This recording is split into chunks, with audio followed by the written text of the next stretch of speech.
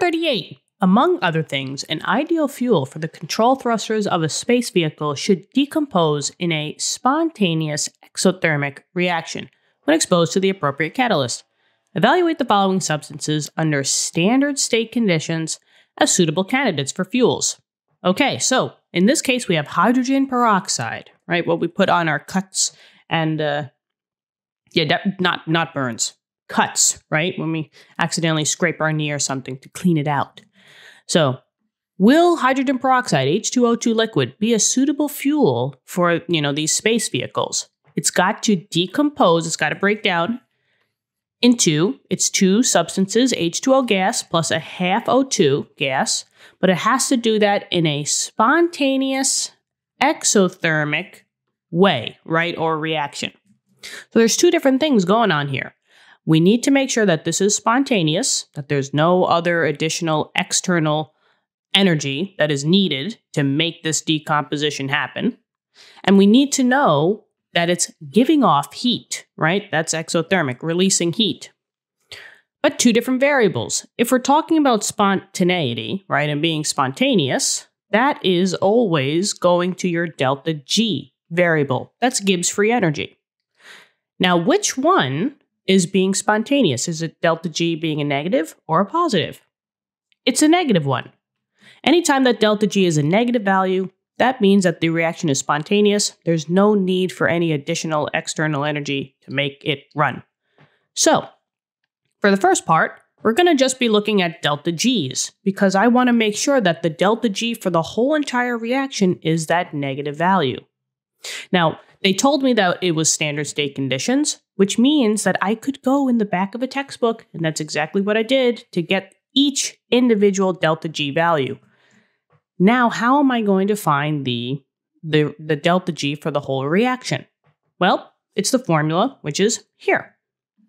Delta G for your whole entire reaction, RXN, is the sum, that's this little symbol here, that just means the sum, aka addition, right? It's the sum of all your delta G's of your products minus the sum of all your delta G's of your reactants, right? So in essence, it's products minus reactants. But we have to sum them up first before we plug it into the formula. So what I'm going to do is I'm just going to drop this H value. You'll probably guess where we're going with these, but for now we're going to pretend that they don't even exist because we're only working on the delta G's. Okay, so now are these values going to be different or are they going to be the same? Well, that goes by the balanced equation we have to specifically look at the coefficients. For H2O2, there was no coefficient in the front. That means that there was only one. There was only one H2O, and in this case, there was a half O2. It's just good practice to take all the values that you found. This is for one mole. But, you know, chances are if you have two or three or four moles, you're going to have to multiply these numbers. So always take your coefficient and just times it by your number. So this would be times by 1 and 1, and this one would be times by a half. But obviously a half times 1, a half times 0 is just 0, right? Anything times 0 is 0. Now, we just have to sum them up, right? In this case, you have two products. It's literally H2O plus the O2 gas. So it'd be this value plus this value. But 1 times a negative 228.59 plus 0 would be the negative 228.59. So that's the number for the right side. And 1 times a negative 120.35 is a negative 120.35. So now we have our summed up values that we're going to use in our equation. So delta G for the whole entire reaction would be products negative 241.82 minus reactants, which is negative 187.78. I'm just going to write the answer on this side because we just need a little bit more space. So, calci time, negative 241, oh boy, 241.82 minus a negative 187.78 and let's see what we get. There we go. So we get a delta G for the whole entire reaction of being a negative 54.04 kilojoules. Now, we have to analyze this value, right? Because we don't really care about the actual quantity, we just care about whether it's spontaneous. And we did say that it being spontaneous, the delta G has to be a negative value. And there it is. So this would be spontaneous. So this decomposition passes the first test. It is a spontaneous reaction. Now we have to find out is it exothermic? Well, exothermic, talking about heat, right? Thermal, therm, that's always heat. And I can memorize that because there's an H in exothermic. So this would be delta H, and it goes with the heat, right? So that's why I'm pulling in all these delta H values. But now the question is if I want to be exothermic, is this a positive or is this a negative value? Well, the wording is kind of in the name, right? Exo.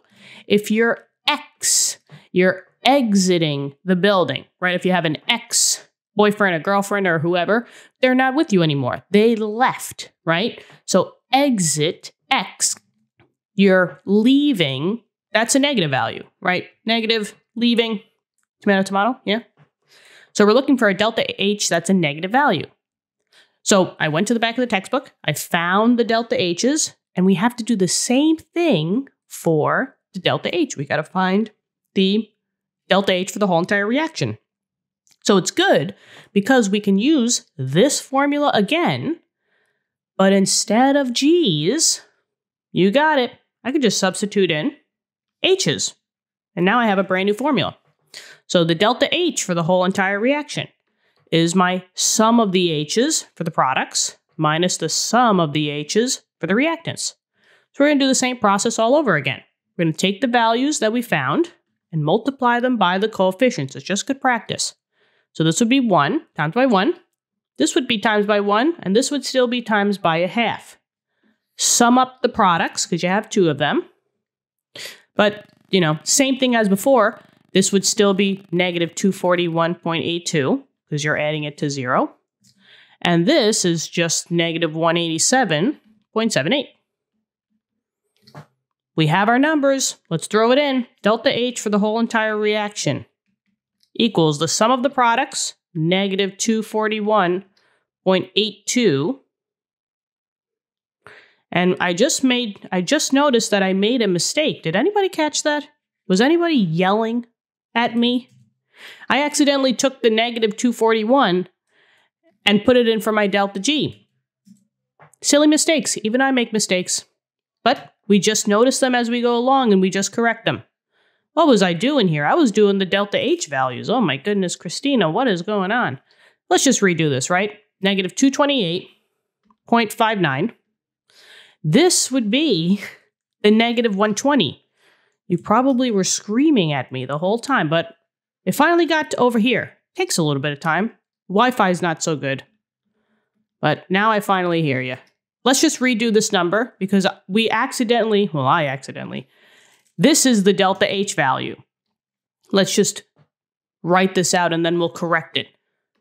So this would still be a negative, actually, negative 187.78. Yep, Okay, so this one is the negative 54. Let's just see if we still get a negative value. Box this off. And since it's a negative, keep in mind of exactly what we said. Delta H is a negative. This is exothermic. So that's good. Let's just go back and just redo this. Negative 228.59 minus a negative 120.35. Ah, still a negative value. So we are good. Negative 108.24. Still a negative value, negatives for both. That's exactly what we wanted. So it is spontaneous. It is exothermic. So, is it a good candidate for being a fuel? Yes, it is. It is a good candidate. Candidate for fuels. And that is actually the answer. There we go. All right. I really hope this helped. Thank you so much for viewing the video. Subscribe to the channel. Tell your friends, tell your classmates. Love to help them out as well. I hope you're all doing well. Good luck on your future tests and quizzes, and I will talk to you soon. Bye bye.